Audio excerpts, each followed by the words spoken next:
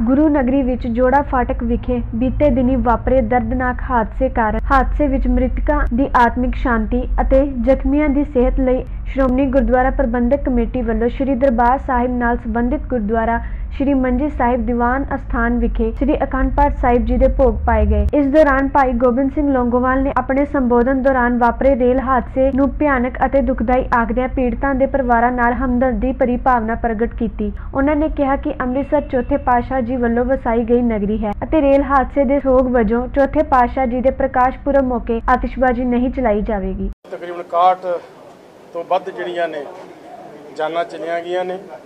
ਔਰ ਸੈਂਕੜਿਆਂ ਦੀ ਗਿਣਤੀ ਦੇ ਵਿੱਚ ਬਹੁਤ ਸਾਰੇ ਲੋਕ ਨੇ ਜਿਹੜੇ ਉਹ ਜ਼ਖਮੀ ਹੋਏ ਨੇ। ਸੋ ਕਿਉਂਕਿ ਮੈਂ ਸਮਝਦਾ ਕਿ ਸ਼੍ਰੋਮਣੀ ਗੁਰਦੁਆਰਾ ਪ੍ਰਬੰਧਕ ਕਮੇਟੀ ਦੇ ਵੱਲੋਂ ਜਿੱਥੇ ਬਹੁਤ ਸਾਰੀਆਂ ਸੇਵਾਵਾਂ ਜਿਹੜੀਆਂ ਨੇ ਉਸ ਸਮੇਂ ਦੇ ਉੱਤੇ ਵੀ ਜਾ ਕੇ ਦਿੱਤੀਆਂ ਗਈਆਂ ਔਰ ਜਿੰਨੇ ਸਾਡਾ ਮੈਡੀਕਲ ਡਾਕਟਰ ਸੀ, ਉਹ ਵੀ ਮੌਕੇ ਤੇ ਪਹੁੰਚੇ। ਸਾਡੀਆਂ ਐਂਬੂਲੈਂਸ ਵੀ ਉੱਥੇ ਮੌਕੇ ਤੇ ਗਈਆਂ ਤੇ ਅਸੀਂ ਇਹ ਵੀ ਐਲਾਨ ਕੀਤਾ ਗਿਆ ਕਿ ਸਾਰੇ ਜਿੰਨੇ ਵੀ ਜ਼ਖਮੀ ਨੇ ਉਹਨਾਂ ਦਾ ਜਿਹੜਾ ਇਲਾਜ ਹੈ, ਸਾਰਾ ਮੁਫਤ ਕੀਤਾ ਜਾਵੇਗਾ ਸਾਡੇ ਗੁਰੂ ਰਾਮਦਾਸ ਹਸਪਤਾਲ 'ਚ ਬਹੁਤ ਸਾਰੇ ਜ਼ਖਮੀ ਜਿਹੜੇ ਨੇ ਉੱਥੇ ਆ ਕੇ ਜਿਹੜੇ ਭਰਤੀ ਹੋਏ ਨੇ।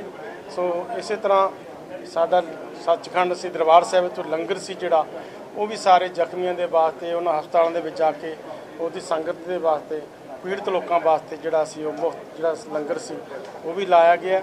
ਇਸੇ ਤਰ੍ਹਾਂ ਕਿਉਂਕਿ ਇਹ ਨਗਰੀ ਸ਼੍ਰੀ ਗੁਰੂ ਰਾਮਦਾਸ ਮਹਾਰਾਜ ਦੀ ਵਸਾਈ ਹੋਈ ਨਗਰੀ ਹੈ, ਉਹ ਮਹਾਨ ਨਗਰੀ ਹੈ। ਸੋ ਜੋ ਵੀ ਇਹਦੇ ਵਿੱਚ ਕੋਈ ਐਸੀ ਪੀੜਾ ਹੁੰਦੀ ਹੈ ਔਰ ਉਹ ਦਰਦ ਸਾਰਿਆਂ ਨੂੰ ਸਾਨੂੰ ਸਹਿਣਾ ਕਰਨਾ ਪੈਂਦਾ ਹੈ।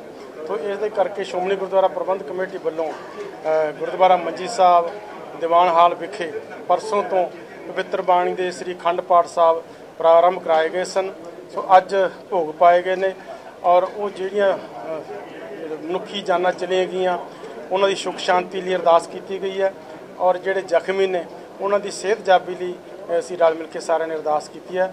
ਸਤਿਗੁਰੂ ਮਹਾਰਾਜ ਕਿਰਪਾ ਕਰਨ ਉਹਨਾਂ ਦੀ ਆਤਮ ਨੂੰ ਸੁਖ ਸ਼ਾਂਤੀ ਇਸੋਂ ਜੋ ਪਰਿਵਾਰ ਨੂੰ ਇੱਕ ਬਹੁਤ ਵੱਡੀ ਪੀੜਾ ਹੋਈ ਹੈ ਬਹੁਤ ਬੜਾ ਦੁੱਖ ਹੋਇਆ ਉਹਨਾਂ ਨੂੰ ਇਹ ਦੁੱਖ ਸਹਿਣ ਦੀ ਸ਼ਕਤੀ ਗੁਰੂ ਮਹਾਰਾਜ ਆਪ ਬਖਸ਼ਣ। ਸਮਾਗਮਾਂ ਨੂੰ ਵੇਖ ਕੇ ਕੀ ਆਪਣਾ ਸੋ ਅਸੀਂ ਕਿਉਂਕਿ ਕੱਲ ਤੋਂ ਹੀ ਸ੍ਰੀ ਗੁਰੂ ਰਾਮਦਾਸ ਮਹਾਰਾਜ ਜੀ ਦੇ ਪ੍ਰਕਾਸ਼ ਪੁਰਬ ਨੂੰ ਤੋਂ ਮੁੱਖ ਰੱਖਦੇ ਹੋ ਕੱਲ ਤੋਂ ਹੀ ਸਮਾਗਮ ਜਿਹੜੇ ਨੇ ਉਹ ਸ਼ੁਰੂ ਹੋ ਜਾਣੇ ਨੇ। ਕੱਲ ਰਾਤ ਪੜਤਾਲਾਂ ਦਾ ਕੀਰਤਨ ਹੋਵੇਗਾ। ਇਸ ਤਰ੍ਹਾਂ ਨਗਰ ਕੀਰਤਨ ਪਰਸੋਂ ਨੂੰ। ਤੋਂ ਉਹਦੇ ਸਾਰਾ ਅਸੀਂ ਸਮਾਗਮ ਜਿੱਥੇ ਸਾਰੇ ਕਰਨੇ ਨੇ। ਸੋ ਇਹ ਜਿਹੜਾ ਦੁਖਦਾਈ ਘਟਨਾ ਹੋਈ ਹੈ, ਇਹਨੂੰ ਮੁੱਖ ਰੱਖਦੇ ਹੋਏ ਜੋ ਆਤਸ਼ਬਾਜ਼ੀ ਦਾ ਸਾਡੀ ਰਵਾਇਤ ਸੀ ਅੱਗੇ, ਉਹ ਆਤਸ਼ਬਾਜ਼ੀ ਨਹੀਂ ਚਲਾਈ ਜਾਵੇਗੀ। ਸਿਰਫ ਦਰਬਾਰ ਸਾਹਿਬ ਦੇ ਉੱਤੇ ਦੀਪਮਾਲਾ ਕੀਤੀ ਜਾਏਗੀ।